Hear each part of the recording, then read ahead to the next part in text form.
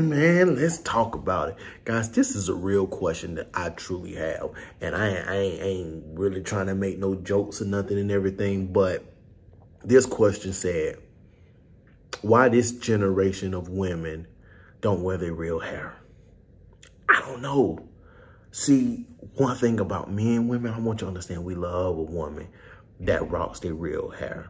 At the end of the day, yes, the wigs and extensions or whatever it is that you put in, that stuff, it looks good, but but we um we like that all natural. Uh, a lot of men know when they pull it, it, it, it ain't gonna come out mm, unless you ain't have a good scalp at the beginning. But I really want to know why you women are not wearing your real hair. That is an honest question. I need you to go down in comments and let me know.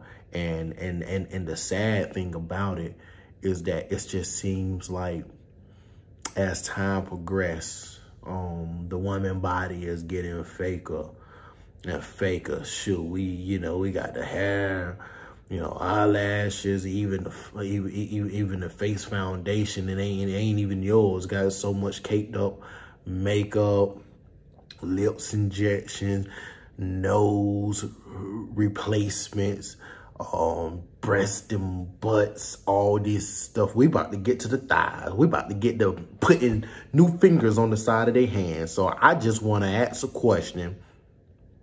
Why don't you women? Two questions. Why don't you women wear your real hair?